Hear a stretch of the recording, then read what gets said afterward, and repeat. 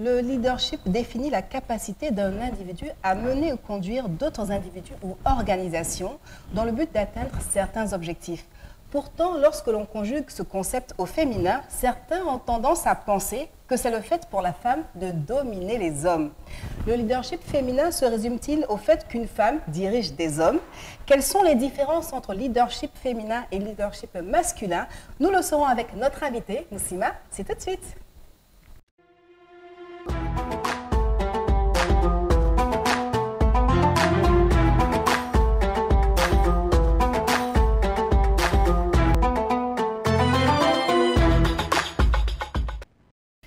Assalamu alaikum wa rahmatullahi ta'ala wa barakatuhu. Bienvenue dans Muslima, le magazine de la femme musulmane sur la télévision al Nous sommes ensemble tous les vendredis à partir de 18h50 minutes. Et aujourd'hui, nous allons parler d'un sujet très intéressant, comme tous les sujets de, chaque vendredi, mais en tout cas, un sujet qui va lever le voile sur certaines idées reçues, en tout cas concernant ce dont on va parler, qui est bien sûr le leadership féminin. Avant de vous présenter notre invité, je vous euh, donne le nom de celle qui m'accompagne aujourd'hui pour cette émission spéciale leadership féminin, docteur Amichia. Salam alaikum. Wa alaikum salam wa Bienvenue et bon retour. Merci. Comment ça va plaisir. Très bien, machallah. Alors aujourd'hui, avec toi, on va parler d'une sœur d'une dame, une contemporaine, parce que toi, c'est ta spécialité. C'est ça. Voilà. Un modèle exceptionnel de Machallah. On en parlera tout à l'heure, on ne va pas donner tous les indices. Bien sûr. À côté de toi, Jenna Sibi, enfin de retour. Salam alaikum. Wa alaikum salam wa rahmatullah. J'aime bien le petit poids baoulé euh, en, euh, voilà, en guise de, de serre-tête Merci. De, de, ton voile. Ça va bien? Ça va bien, Alhamdoulilah. Ça va, Bamako? Super. en tout cas, tu nous as manqué. Hein? Ah, vous, vous m'avez beaucoup manqué, hein, sinon je n'allais pas venir. Et toi, tu te charges aujourd'hui de l'actualité Oui, c'est l'actualité. Est-ce que les nouvelles sont bonnes? Très bonnes. Très bonnes Oui. D'accord, si tu le dis. Pour nous accompagner aujourd'hui, pour nous éclairer sur le leadership féminin, nous recevons aujourd'hui Madame Aminata Keita. Elle est experte en leadership, conférencière, formatrice et surtout aussi vous êtes experte en, genre. On va voir avec vous donc euh, ce que c'est que le leadership féminin. Est-ce que être euh, euh, prôner le leadership féminin, est-ce que c'est être forcément féministe? En tout cas, toutes ces idées reçues-là, on les verra avec vous. On sera éclairé, Inch'Allah. Tout à l'heure, Inch'Allah. Le temps pour nous hein, de, de, recevoir formellement Jen Sibi pour euh, la rubrique Actualité.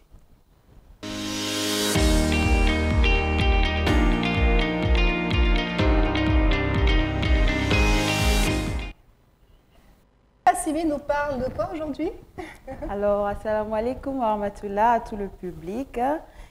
Alors, aujourd'hui, j'ai quatre informations. Donc, euh, on va aller très loin de la Côte d'Ivoire. Pour commencer, en Thaïlande, une femme musulmane nommée gouverneur de province, une première dans le pays. C'est avec enthousiasme que le peuple du sud de la Thaïlande a accueilli la nomination de Patimo Sayi Damu, une députée de la province de Narathiwat, en tant que gouverneur de la province de Patani. Et c'est la première femme musulmane et voilée à être nommée à un tel poste dans le pays. Sa nomination a été approuvée ce mardi 15 novembre.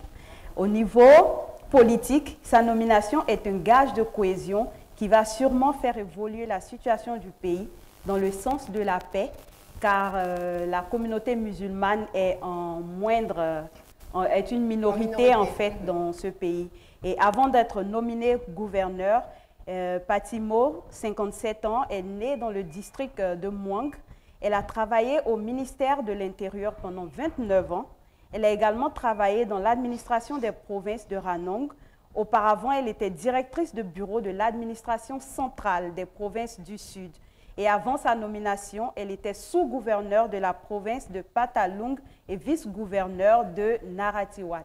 Alors, c'est naturellement, en fait, qu'elle devient gouverneure maintenant de cette région-là. On va partir aux États-Unis sur les mêmes notes de leadership féminin aujourd'hui. Alors, le Dakota du Nord élit une femme, Amida Dakan, comme euh, représentante à la Chambre des représentants. Donc, son exploit électoral est de taille. Elle a réussi à conquérir tous les suffrages dans un Dakota du Nord qui est le bastion et la chasse gardée du Parti républicain. Amida Dakan peut se féliciter d'avoir changé les choses. Elle est la jeune femme démocrate, noire, musulmane et voilée. Titulaire d'une maîtrise en administration publique et gestion de l'énergie, sa victoire aux élections de mi-mandat est historique à plus d'un titre. Originaire du Kenya, Amida, qui porte le hijab depuis l'âge de 7 ans, sera en effet la première élue voilée à siéger sous la coupole de la Chambre des représentants aux États-Unis. À l'aube de son mandat, qu'elle se prépare avec solennité à honorer, Amida est pleinement consciente d'être devenue une source d'inspiration pour bon nombre de ses concitoyens, mais également pour toutes ces jeunes femmes musulmanes, intellectuelles et ambitieuses, et elle compte se monter digne de la confiance placée en elle. Alors, troisième information, nous revenons en Côte d'Ivoire. À Sakassou, bientôt une nouvelle maternité pour la prise en charge des femmes de la localité. Une nouvelle maternité va bientôt voir le jour à Sakassou et l'amélioration des soins obstétrico-néonatales d'urgence se poursuit en Côte d'Ivoire. Une maternité d'une capacité d'accueil de 22 lits sortira bientôt de terre à Sakassou. Le ministère de la Santé, de l'Hygiène publique et de la couverture maladie universelle a procédé ce vendredi 11 novembre 2022 à la pose de la première pierre des travaux de cette infrastructure. Alors, euh, dans les prochains mois, c'est une maternité d'une capacité d'accueil de 14 lits gynéco-obstétriques, de 4 lits pour préparation avant accouchement, de 4 lits néonatales ou couveuses, de 3 salles d'accouchement, une salle d'opération et 4 salles de consultation, dans une salle d'échographie qui sera mise à la disposition des femmes de Sakassou. Et c'est une très bonne nouvelle pour les femmes de cette localité, mais aussi pour toutes les femmes de la Côte d'Ivoire. En quatrième et dernière information du jour, l'Association des femmes de la mosquée HAC de Cocody Angré et sa cellule féminine ont organisé samedi dernier une conférence spirituelle au profit des fidèles. Le but étant de les aider à entretenir leur foi. Là, on revient à la spiritualité. C'est une activité qui était auparavant une tradition au sein de la dite mosquée jusqu'à l'avènement de la Covid. Et pour cette première édition de la nouvelle saison, le choix a été porté sur l'imam Kone Abou de Dabou pour un rappel sur le comportement du musulman. Elles entendent initier plusieurs activités pour une meilleure formation de la communauté et une meilleure formation des femmes musulmanes de la dite mosquée. Je vous remercie. C'était l'actualité du jour. Merci Télé pour toutes ces informations. Et comme tu l'as dit, beaucoup de femmes ont été mises en avant dans ton actualité parce qu'on parle du leadership féminin.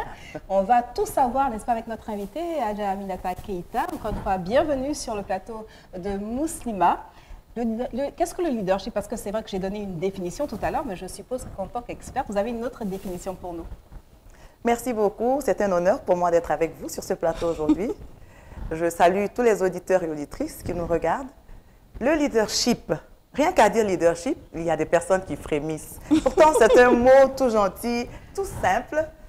Pour moi, le leadership a autant de définitions que de personnes existant sur la Terre.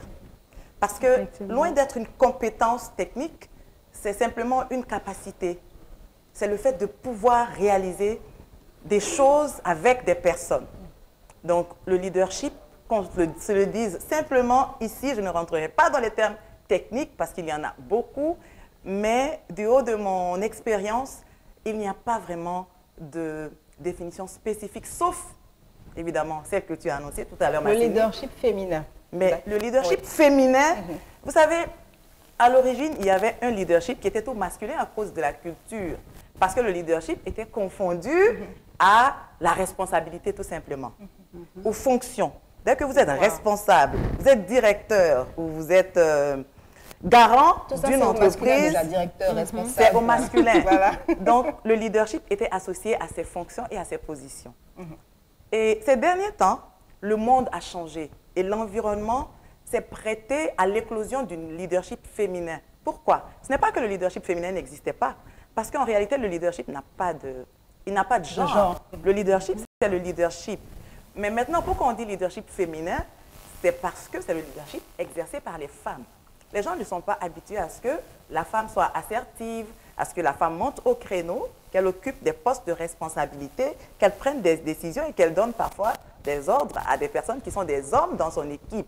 Donc on dit leadership, leadership féminin parce que c'est un leadership qui met en avant les caractéristiques naturelles de la femme. J'aime bien cette définition parce que c'est un leadership en avant les caractéristiques spécifiques de la femme.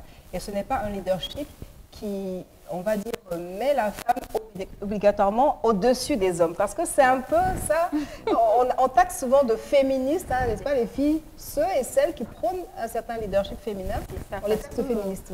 En effet, le, monde a longtemps été dominé par le leadership masculin. Voilà, il n'y avait pas de femme leader en tant que telle.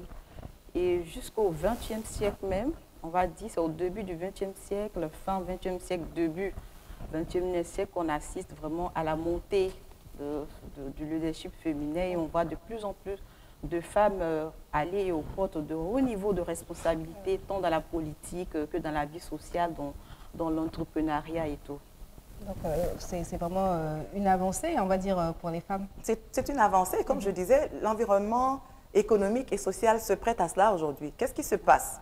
Non seulement les femmes sont de plus en plus indépendantes, et c'est la nature du monde. Mhm. Vous trouvez de plus en plus de femmes qui créent des entreprises parce que les réglementations le permettent aujourd'hui, mais le monde même a changé. On a besoin de plus de résilience. Le dernier cas, c'est la COVID. Mhm. Les femmes, de par leur nature spécifique, sont habituées à être résilientes. D'ailleurs, les jeunes femmes, quand elles se marient, qu'est-ce qu'on leur dit? Ce sera difficile. Donc la femme est faite pour encaisser la douleur et la souffrance de par nos cultures. Donc cette résilience est une qualité qui, est, qui fait partie du leadership féminin en réalité. Aujourd'hui, certains hommes ont compris que les spécificités féminines prédisposent à un meilleur leadership. D'ailleurs, les entreprises, aujourd'hui, de, de de Côte d'Ivoire a fait une recherche il n'y a pas longtemps, une étude dont les résultats montrent en fait que les entreprises dirigées par les femmes sont beaucoup, beaucoup plus profitables que celles dirigées par les hommes en général. Profitables, c'est-à-dire productives ou Oui, euh, profitables. Elles font plus de bénéfices, mhm. elles, sont, elles, connaissent plus de succès que celles, mais c'est parce que ce sont des femmes qui sont à la tête. Et qu'est-ce qu'elles font? Elles mettent en œuvre des caractéristiques spécifiques aux femmes. Justement, quelles sont-elles? Parce qu'on on a, on a dit dans l'intitulé de notre émission, leadership féminin versus leadership masculin. Ça veut dire que quand même, même si on parle d'une définition générale du leadership, il y a quand même des spécificités, des mhm. différences entre le leadership féminin et le leadership masculin. Quelles sont ces différences? Merci. Les différences sont essentiellement liées au à la nature de ces deux, de ces deux entités ou de ces deux individus. leadership masculin, disons, le leadership, l'homme a une nature qui est différente de la nature de la femme, tout simplement. On dit de l'homme souvent qu'il est cartésien, pendant que la femme met plus en exergue le volet émotionnel, n'est-ce pas? Ça, c'est tout à fait naturel. Ensuite, l'homme, il est prompt à décider, n'est-ce pas? Il dirige de manière euh, beaucoup plus assertive, naturellement, parce que la culture le prédispose à cela. Mais la femme, elle est beaucoup plus généreuse, elle est beaucoup plus empathique, elle écoute, etc. Elle est serviable, elle est prête à servir. Aujourd'hui, quand, quand on parle de caractéristiques d'un bon leadership, d'abord le service. Le leader, c'est celui qui sert n'est-ce pas? Donc c'est une spécificité naturelle de la femme, la générosité, l'écoute, qui est le fondement même du leadership, etc. La motivation, la patience, ce sont des choses, ce sont des, caractéristiques féminines. Donc, ça veut dire que ça, ça manque peut-être aux hommes. On va, on va savoir tout à l'heure, mais euh, on, va, on va recevoir dans quelques instants euh, Dr Amisha pour euh, le portrait de la semaine. C'est tout de suite après le jingle.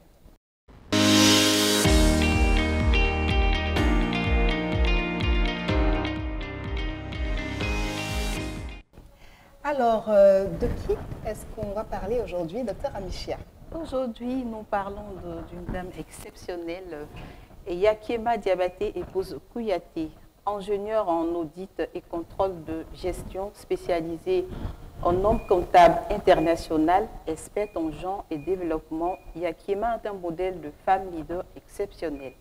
Yakema entame son parcours militant à l'école IMST à Djamé où elle rencontra l'Association des élèves et étudiants musulmans de Côte d'Ivoire en classe de troisième. Ces qualités naturelles d'éludeur ont suffi pour la désignation comme vice-président du sous-comité d'Adjamé. Ainsi, elle fut la première lycéenne à intégrer le bureau national et aussi la première femme autorisée à prendre la parole en tant que formatrice des élèves et étudiants musulmans. Ce beau parcours au militantisme n'a jamais connu de rupture, passant par des postes de responsabilité dans les universités où elle poursuivait ses études. Elle est actuellement vice-présidente de l'Amicale des anciens de l'AEMC, rôle qu'elle assure à travers des initiatives innovantes comme la, la mise en place de fonds d'autonomisation pour les femmes, le réseau des femmes leaders, pour ne citer que ces deux. Au plan professionnel, Yakima occupe comme premier poste la fonction de directrice de coopérative Café Cacao.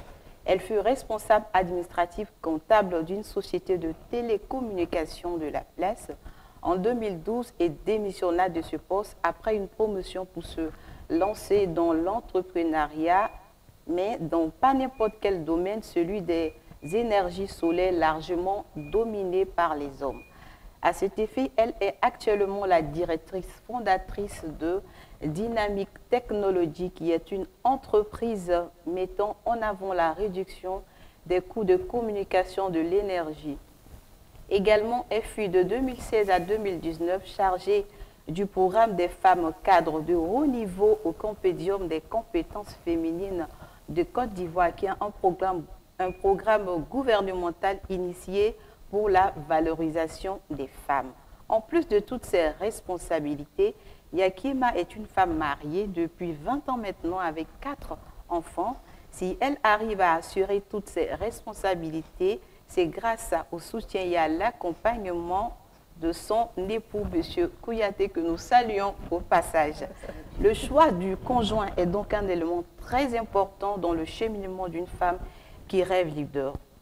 Nous terminons cette rubrique en disant que femme leader dont l'âme, Yakima croit beaucoup au pouvoir du leadership féminin qu'elle définit comme un levier pour toute société qui se veut prospère.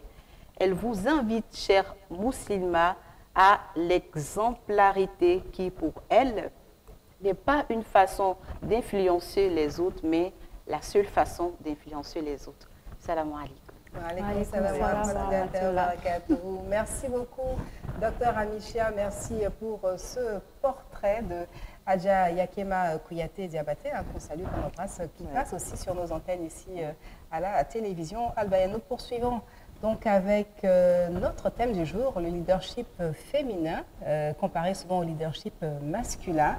Euh, avant donc de, prendre la parole, docteur Amicha, avant que vous interveniez, on a vu qu'il y a certaines qualités qui faisaient défaut aux hommes, qui étaient plus présentes chez les femmes, d'où la spécificité de leur leadership. C'est bien ça, les filles. Est-ce que vous êtes d'accord déjà avec, avec cela? Non. Je n'ai pas dit que les qualités faisaient défaut aux hommes. caractéristiques, en fait, qui sont plus exacerbées chez la femme plus que chez l'homme. C'est ce que vous avez dit. Donc, voilà. Ça ne veut pas dire que ça leur... Il n'y a pas de problème. Ils en ont, mais ce n'est pas beaucoup. quoi. Voilà. C'est ça. On peut dire que les qualités sont de part et d'autre complémentaires, quand même, parce que ce qu'il n'y a pas chez l'homme, on peut aussi observer chez la femme. moi, je pense que déjà, ces deux leaderships-là devraient être euh, complémentaires. Plutôt que de partir dans une opposition, je pense que le leadership féminin, c'est vrai que c'est quelque chose de nouveau, mais c'est quelque chose d'indispensable en fait. Parce que les hommes ne peuvent pas tout faire. Et déjà, maintenant que les femmes se lèvent beaucoup plus, Maintenant que les femmes affrontent beaucoup plus, sont beaucoup plus leaders qu'avant, le monde évolue beaucoup plus rapidement.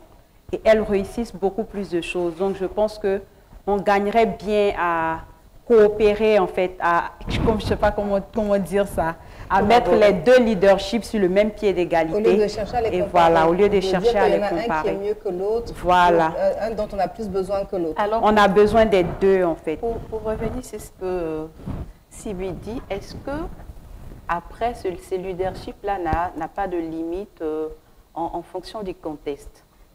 Voilà, on sait les responsabilités de la, je veux dire, euh, les compétences de la femme, euh, ses, droits qu'elle a du point de vue de sa participation sociale, est-ce que ces responsabilités-là n'ont pas de limite lorsqu'on se retrouve dans le cadre conjugal? C'est une très bonne question. En fait, je veux retourner à la question du leadership. D'abord, il n'y a pas d'opposition entre leadership féminin et leadership masculin. Je crois que on ajoute le terme féminin pour juste spécifier. Quand on spécifie, moi, je ne vois pas la femme opposée à l'homme, mais je vois plutôt les caractéristiques spécifiques à la femme, que les hommes qui ne les ont pas cherchent à cultiver d'ailleurs aujourd'hui. Donc, vous pouvez avoir un homme qui développe un leadership féminin et qui connaît beaucoup de succès d'ailleurs dans son entreprise. Parce que ça, c'est quelque chose qui a été compris aujourd'hui. Les hommes savent que certaines caractéristiques féminines font mieux marquer les, marcher les choses, on permettent par exemple de négocier et de motiver les collaborateurs, parce que le leader dépend de ses suiveurs, en quelque sorte les collaborateurs. Donc, quand on dit masculin et féminin, vraiment, il n'y a pas d'opposition là-dessus. Et c'est dans cela que j'ai apprécié le thème ici aujourd'hui, pour que nous levions quelques équivoques. Il n'y a pas d'opposition. Il y a un leadership exercé par les hommes, parce qu'un homme est un homme, et il y a un, un, leadership exercé par la femme, et que la femme est une femme. Elle ne pourra jamais exercer un leadership masculin parce qu'elle n'est pas un homme.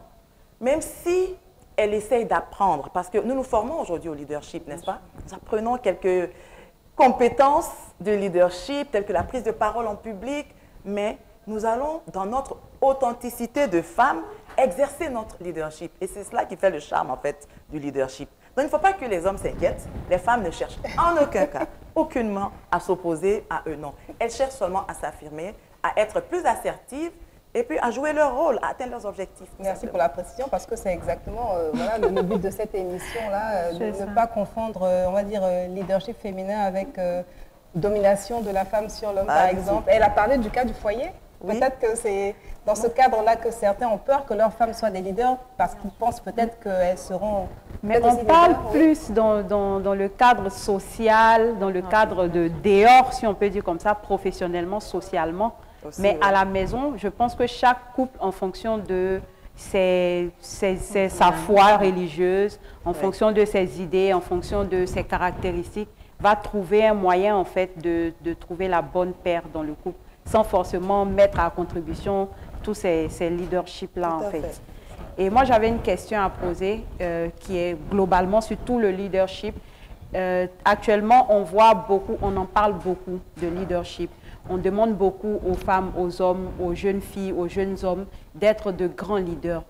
Mais je pense que tout le monde ne peut pas être leader parce qu'un leader, c'est celui qui est devant et qui motive les troupes et qui se fait accompagner. Donc si tout le monde veut devenir leader, qui accompagne qui en fait finalement? Et, surtout, est-ce que tout le monde est appelé à être leader? Et est-ce que tout le monde est appelé à être leader? Ça, c'est une très bonne question aussi. Ça, ça fait intervenir le leadership personnel aussi. Merci. Il y a différents types de leadership. On allait en venir. Le leadership personnel est celui qui consiste à se gérer soi-même, mm. donc à se connaître, à savoir comment est-ce qu'on réagit face à telle situation pour pouvoir mieux appréhender nos réactions face à d'autres, mieux gérer les membres de l'équipe, mais d'abord se connaître, connaître ses priorités, ses objectifs c'est le leadership personnel, il est primordial. Ensuite, il y a le leadership situationnel aussi. moi, je peux être leader. Aujourd'hui, Masseni, supposons, elle est leader ici sur son émission. Nous suivons, quand elle nous donne la parole, nous parlons. Merci, Effectivement. Merci, je suis leader de l'émission. Donc, il y a le leadership situationnel. Mm-hmm. On n'est pas leader tout le temps. Tout le temps. Il faut être suffisamment humble pour reconnaître la situation dans laquelle nous sommes leaders. Ici, elle l'est. Peut-être qu'elle va me trouver dans un autre endroit où je serai leader. Elle sera dans l'équipe. Mhm. Donc, elle sera collaboratrice, elle fera partie du pool des suiveurs, etc. Mais, encore une fois, il est important de savoir que le leadership a des piliers, a des principes. D'abord, on ne peut pas exercer le même style de leadership. Toi, tu es une femme, docteur est une femme, elle est une femme, j'en suis une, mais nous n'aurons pas le même style de leadership parce que notre leadership dépendra de notre style de personnalité. On a chacune notre style de leadership, mais nous avons un objectif à atteindre, nous l'atteindrons.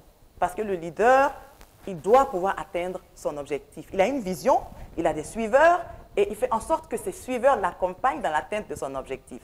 Donc, n'est pas le leader qui le veut. Un leader accomplit et réalise des choses. Vous ne pouvez pas dire que moi je suis généreuse, moi je suis chef d'entreprise. Vous pouvez être chef d'entreprise sans être leader. Parce que le leader a des objectifs qui sont clairs, il sait les partager à l'équipe, parce que c'est l'équipe qui a les compétences. C'est l'équipe, elle, elle est assise, d'accord, elle est leader, mais elle a des techniciens qui travaillent pour elle. N'est-ce pas? Elle a des Ah oui, personnes... Avec, avec moi, pas pour Ah, moi.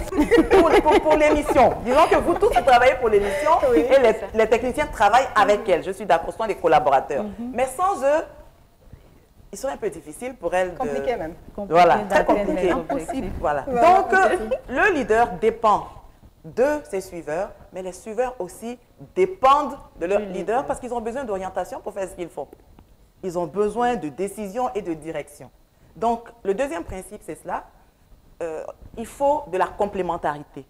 Et ensuite, un leader est celui qui s'adapte, qui est en pleine mutation, toujours en train de réfléchir, le leader, pour changer. Regardez la Covid qui est venue. Les leaders qui n'étaient pas en train de réfléchir pour se remettre à niveau, eux, ils sont carrément morts avec leur affaire. N'est-ce pas? Donc, les- ces trois principes de leadership sont importants. Si vous ne les avez pas, c'est que vous devez encore travailler pour développer ce leadership. Mais la bonne nouvelle, c'est que le leadership se développe. Ah, Les- on ne naît oui. pas donc leader. On devient leader. On devient leader. On ne on pas leader, leader on le devient. devient. Même s'il y en a qui ont des aptitudes Naturel, innées ou fait. naturelles, mais la plupart des personnes, comme moi d'ailleurs, développons notre leadership. Parce que être leader n'est pas seulement être assertif, pouvoir se lever dans la foule et prendre la parole. Non, il y a beaucoup plus de choses que ça. Il y a comment avoir... Si, si vous n'êtes pas suivi, vous n'êtes pas leader. Est-ce que vous avez une vision? Quelle est-elle? Est-ce que vous savez la communiquer à des collaborateurs? Est-ce qu'ils sont d'accord pour réaliser cette vision avec vous? Si oui, ben, en ce moment, et que vous faites des résultats, vous êtes un leader. Mais si vous n'avez jamais de résultats, cela agrandit le champ du débat qu'on ne va pas aborder ici aujourd'hui. Il y a beaucoup d'influenceurs, etc. Justement, mais c'est- différent. influenceurs, est-ce C'est que- différent. Est-ce que justement, C'est différent. euh, on- vous avez parlé de leader, tout ce que vous avez donné comme définition, c'était pour le leader, mais il y a les bons et les mauvais leaders. On peut en parler aussi. Bon et mauvais, cela dépend des Voilà. valeurs. Ça dépend de votre jugement des valeurs. Sinon, le leadership, il a, en général, il ne donne pas de définition du mauvais leadership. Il dit seulement le leader, c'est les celui. bases, les principes. exactement. Il a une vision, Voilà, il a des suiveurs. ne pas. Voilà. Maintenant, ces valeurs, pour vous, vous pensez que c'est un mauvais leadership, mais les suiveurs, pour eux, c'est un bon leadership parce qu'ils s'identifient à cette personne. cette vision À la société maintenant de canaliser les membres de sa communauté de sorte à ce qu'ils comprennent les bonnes valeurs dans la communauté et qu'ils se rangent. Sinon, donc la société a un travail à faire, les familles ont un travail à faire. Quelles sont les valeurs que vous inculquez aux enfants dès la base? Les entreprises, quelles sont les valeurs de l'entreprise? Et c'est en cela que quand on va dans le foyer, chaque foyer a ses valeurs. Selon sa religion, que vous soyez musulman ou chrétien ou, ou juif ou que vous n'ayez pas de religion, vous avez quand même des valeurs. Des valeurs, Donc des ces valeurs-là, vous devez vous baser là-dessus. Un leader a des valeurs. Et ce sont les valeurs qui vont commander toutes les actions et les actes qu'il va poser. Donc si vous dites que vous êtes musulmane, par exemple, vous êtes une épouse musulmane, vous êtes dans un foyer et que vous voulez jouer le rôle de l'homme, c'est que vous ne respectez pas les valeurs de l'islam. Il y a une manière de collaborer, de communiquer, de sorte à respecter le droit de la femme tel que l'islam le conçoit. Tant que c'est dans le cadre de l'islam, tout va bien. Mais quand vous allez au-delà ou en dehors du cadre de l'islam, cela veut dire que vous ne respectez plus les valeurs et donc vous n'avez pas d'intégrité. Vous, en ce moment-là, vous ne respectez même pas les principes du leadership, donc vous n'êtes pas un leader. Oui, en tout cas, voilà, voilà qui est clair. Hein. Euh, Jenny l'a dit, hein, on, on entend beaucoup de, de messages, de slogans, réveiller le leader qui est en vous. Euh, voilà, n'est-ce pas hein, on, on a beaucoup Oui, oui. d'initiatives qui poussent les gens à euh, découvrir ou à cultiver ou en tout cas à travailler ce leadership-là qui est en, en chacun de nous, je pense, hein, chacun de nous, Tout comme on l'a dit. Oui. Mais euh, principalement le leadership euh, féminin. Euh, Est-il à encourager? Si oui, vous avez parlé de plusieurs types de leadership parce que euh, dans les leaderships que vous avez cités, les femmes se retrouvent aussi dans le leadership Oui. personnel, le leadership euh, Professionnel. professionnel, euh, social, Social, associatif et tout cela. Donc, spécifiquement pour les femmes, Oui. est-ce que tous ces leaderships-là sont à, euh, on va dire, développer? Oui, je dirais oui, vraiment Absolument. Absolument. Absolument. Absolument. Parce que euh, le leadership, il faut le voir vraiment au sens, euh, au sens noble du terme. une femme qui développe son leadership est une femme qui développe son assertivité, sa capacité à assumer ses idées. Souvent, la femme, nos imams aiment bien nous dire que la femme, c'est celle qui donne les conseils, euh, la nuit La porte nuit. conseil, cela. Mais il faut encore que la femme puisse assumer son idée parce qu'il y a des personnes qui ne peuvent même pas dire leur avis devant un homme. Dès qu'il y a un homme, elle tremble. Que dire alors d'une assemblée? Donc, il n'y a pas longtemps, une amie m'a dit, j'ai des problèmes. Elle a un grand poste de responsabilité, entrepreneur. Mais elle m'a dit que j'ai un problème. Il faut que tu m'aides parce que je n'arrive pas à prendre la parole et à assumer mon idée dès qu'il y a plus de 10, 10 personnes. Et pourtant, Et pourtant, je n'ose même pas dire dans quel domaine elle exerce. Parce que c'est un domaine euh, vraiment... Non, Dans l'entrepreneuriat, même en général, lorsque tu veux avancer pour atteindre certains niveaux, il faut pouvoir parler. Et Il donc, faut pouvoir euh, convaincre les personnes que ton idée Merci. est bonne. Et ça, ça s'apprend. Voilà, se ça s'apprend. Le fait d'en être conscient déjà, Voilà. franchement, c'est un, pas, déjà un bon. grand pas en avant. En être conscient et dire que j'ai besoin d'aide et aller vers la solution, c'est ce qu'on recommande à toutes les femmes aujourd'hui. Vous savez que vous êtes... même Ça, c'est... Vers Madame Aminata. Oui, oui, il faut juste savoir. En fait, elle a parlé tout à l'heure, c'est- vous qui avez parlé d'exemplarité tout à l'heure. Vous voyez des personnes qui ont les compétences que vous recherchez. Mais gentiment, avec votre sourire agréable, bonjour madame, je vous ai vu. Est-ce que vous pouvez m'aider à acquérir? Vous avez, etc. Faut pas, mais encore, même ça, pour le dire, il faut avoir un certain niveau d'assertivité, n'est-ce pas? Mais tout est possible aujourd'hui. C'est pour ça que peut-être qu'à la fin de l'émission, on aura l'opportunité de parler de ce qu'il faut en réalité Je crois que c'est maintenant. faire. D'accord. Il faut maintenant. Ah oui, parce que dans le domaine des On va femmes, laisser bien et- développer ça. et je crois que, je crois que c'est- pour cela que nous avons le terme leadership féminin. Nous insistons là-dessus, que les femmes développent leur leadership parce que c'est important pour les entreprises. Je vous ai parlé tout à l'heure du succès des entreprises. Oui, D'ailleurs, quand vous avez une femme, la femme se souvient qu'à midi, il faut manger. C'est bien d'avoir une femme dans son équipe. oui, oui. N'est-ce pas? C'est Salut important. Moussa Logo. Salut Moussa Logo. Ouais, On saura pourquoi. D'accord Oui. Et la femme doit pouvoir être une force de décision pour sa famille, pour son entreprise. Mais pour ça, il faut qu'elle puisse assumer son point de vue. Si dès qu'elle parle, les gens rient à côté et puis qu'elle elle- Ça la frustre. elle, elle- elle se sent frustrée et qu'elle se recroqueville sur elle-même, c'est un peu difficile. Mais pour ça, il faut qu'elle développe son, leadership. Il y a des écoles aujourd'hui pour développer leur leadership. Il y a des écoles pour développer la prise de parole en public et devenir la femme assertive, mais qui respecte les valeurs. Parce qu'un bon leader, c'est celui qui respecte les valeurs, n'est-ce pas? Donc, une femme qui, qui va rester dans son authenticité. Et cela va demander qu'elle se connaisse. D'abord, la première étape sera le leadership personnel. Qui suis-je?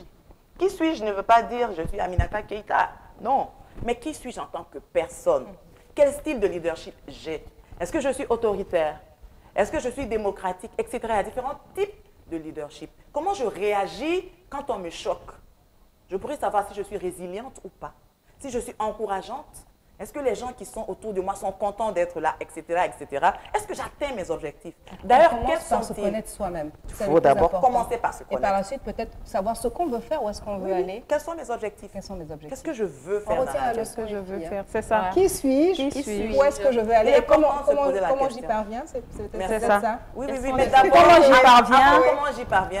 Qui est-ce sont que j'emmène avec moi? Quelles sont, sont mes priorités? C'est ça. D'accord, ben c'est sur ces leçons de leadership, Madame Aminata Keita, qu'on va vous dire merci d'avoir été sur ce plateau de Moussima. En tout cas, on a tout été édifiés. hein.